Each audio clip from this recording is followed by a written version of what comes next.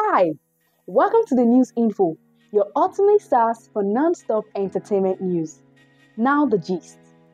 Nigerian award-winning singer David Adeleke, popularly known as Davido, has expressed his joy as his cousin and musician B-Red, whose real name is Adebayo Adeleke, and his beloved wife, Faith Johnson, welcomed their second son in the US. The good news went viral online after B-Red took to his social media page on Sunday 10th November 2024 to share a beautiful photo of himself and his newborn baby. In the picture, he was seen fondly looking at his baby.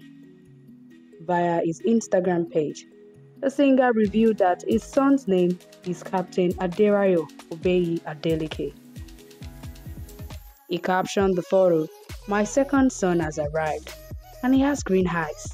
At the Faith Johnson, thank you. I am grateful, O Lord. His post took over the internet, attracting congratulatory messages from fans, family, and friends. Davido, visibly happy upon hearing the good news, took to comment section to congratulate his cousin. He shared a smiling face emoji on social media. Adebayo Adeleke born July 23rd, better known by his stage name B-Red, is a Nigerian singer, primarily known as Davido's cousin.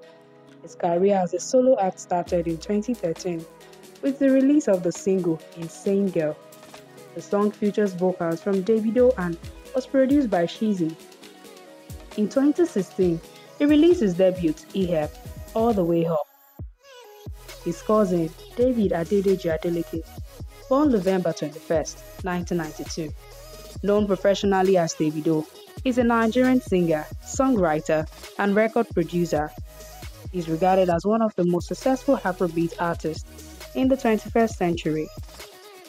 He rose to the fame after releasing Dami Duro, the second single from his debut studio album, Omo Baba Olowo 2012, from which six additional singles, Back When, Ekuro, Overseas, All of You, Gbon Gbon, and Feel Alright were taken. In 2012, Davido won the Next Rated Award at the Headies.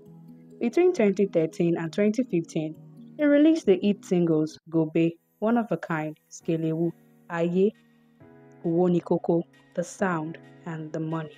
And that's a wrap on today's entertainment news segment.